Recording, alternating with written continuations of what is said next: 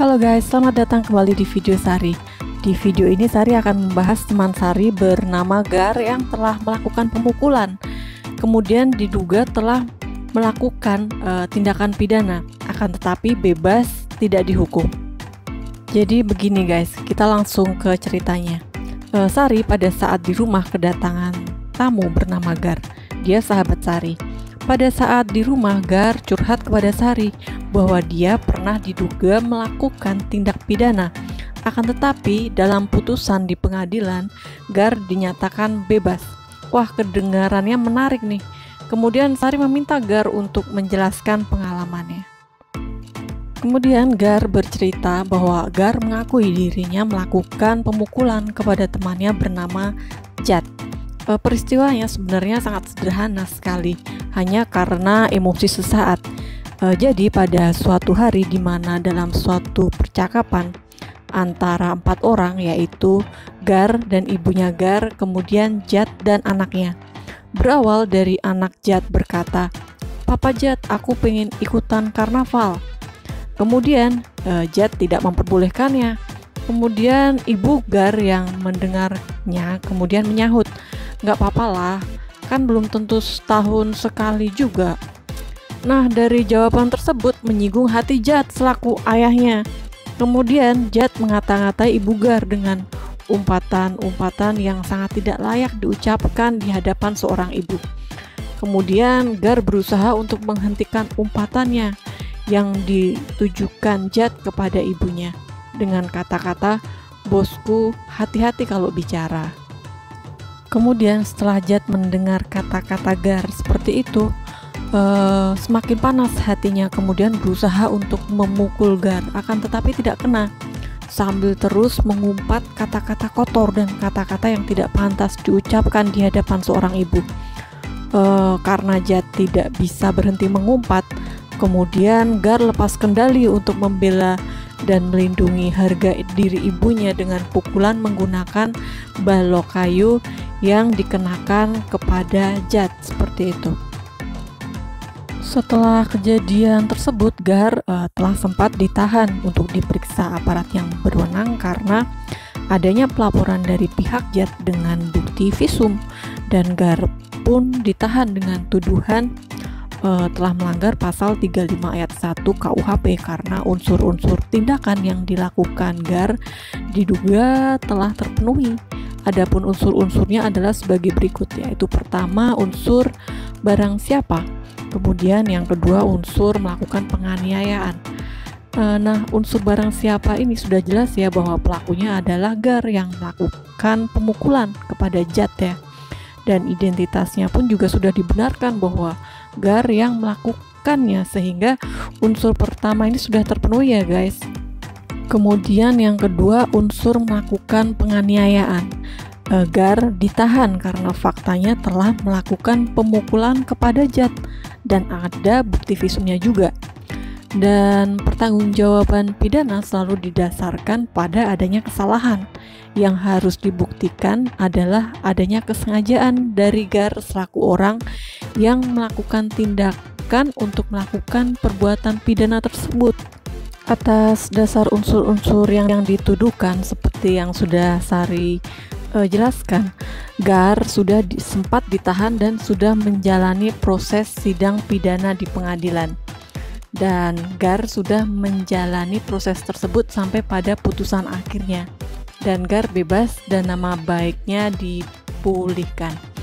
Oh ya guys, buat kalian yang belum tahu alur peradilan pidana, kalian bisa klik video Sari yang berjudul Alur Persidangan Pidana di playlist pidana. Coba deh kalian klik, kalian akan mendapatkan jawabannya. Untuk link video ada di deskripsi ya.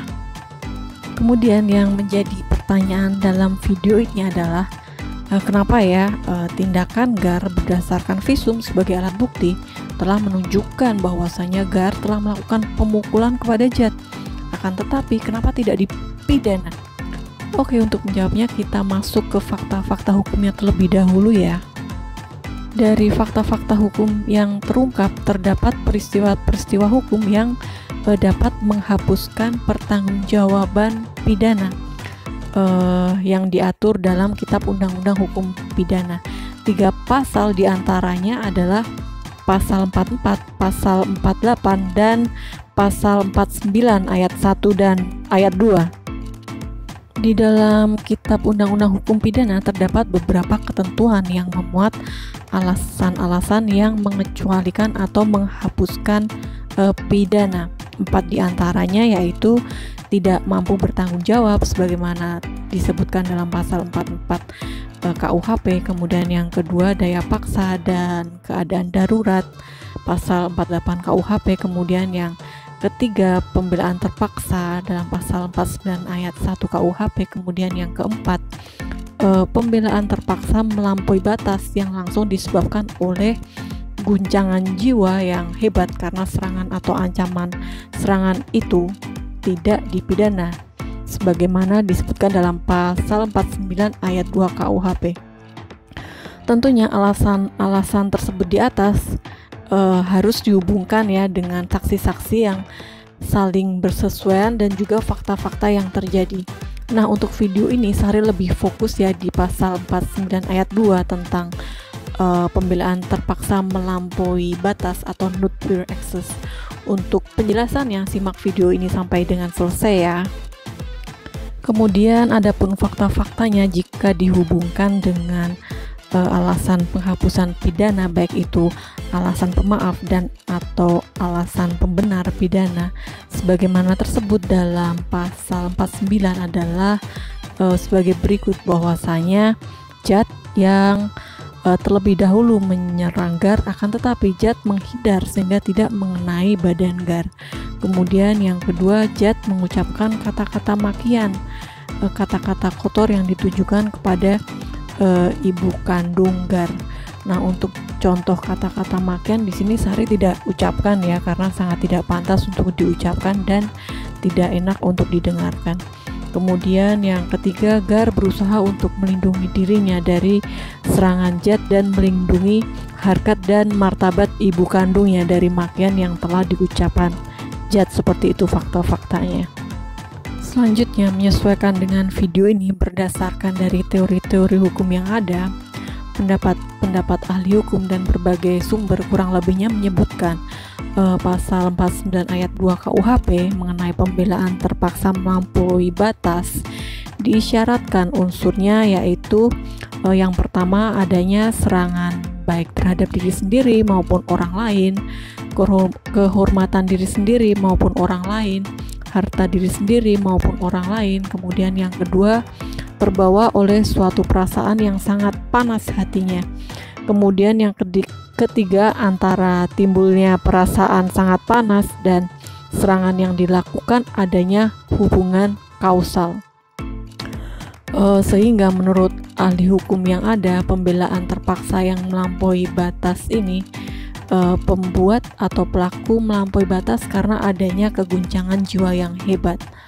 Uh, oleh karena itu, perbuatan membela diri yang melampaui batas ini tetap melawan hukum. Hanya orangnya tidak dapat dipidana karena adanya keguncangan uh, jiwa yang hebat. Lebih lanjut, maka pembelaan terpaksa yang melampaui batas menjadi uh, dasar pemaaf. Begitu ya, guys, kurang lebihnya pendapat pendapat para ahli hukum tentang pembelaan terba, uh, terpaksa melampaui batas.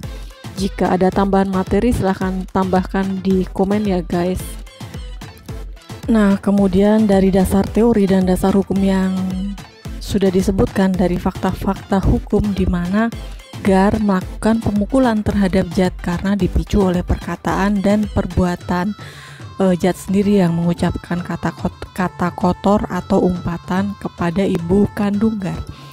Dan tindakan Gar tersebut tidak didasarkan adanya niat jahat atau mensrea dari uh, Gar untuk menyakiti Jad, melainkan karena adanya pembelaan terpaksa melampaui batas atau not will excess sebagaimana diatur pada pasal 49 ayat 2 KUHP di mana adanya tekanan jiwa berupa amarah dari Gar akibat serangan jet dan kata-kata umpatan yang sangat kasar sekali yang ditujukan untuk menyerang ibu kandung Gar.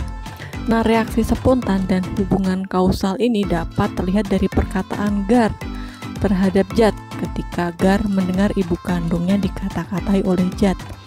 E, di mana Gar bereaksi dengan e, mengatakan kepada Jad dengan kalimat, "Bosku, hati-hati kalau bicara ya."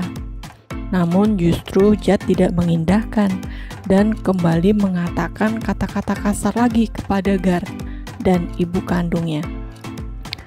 Dan Jad juga berusaha menendang dan memukul Gar. Hal ini mungkin sering terjadi ya.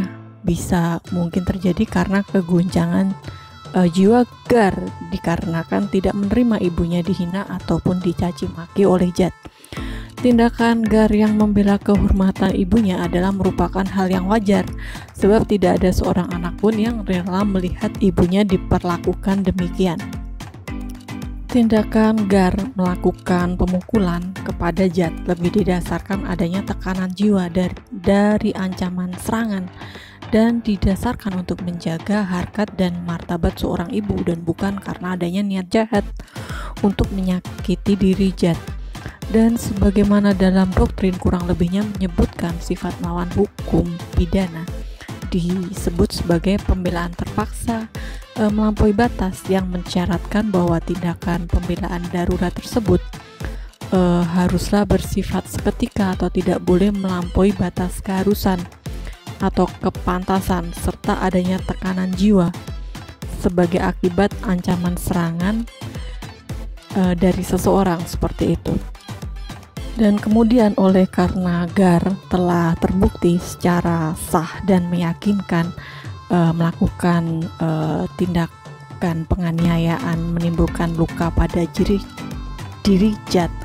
Akan tetapi karena terbukti Gar melakukan perbuatan tersebut karena adanya uh, alasan penghapus pidana, Gar karena melakukan pembelaan terpaksa yang melampaui batas sehingga tindakan gar tersebut tidak dapat dipidana ya guys Oke, begitu ya kurang lebihnya kasus teman Sari dan penjelasan hukumnya. Jika ada tambahan teori, doktrin, dasar hukum tentang uh, nutbir access, uh, silahkan di kolom komentar dan bukan untuk diperdebatkan ya. Kemudian jika ada pertanyaan juga silahkan di kolom komentar. Terima kasih, jangan lupa klik like, subscribe, dan bunyikan loncengnya. Terima kasih, Sia.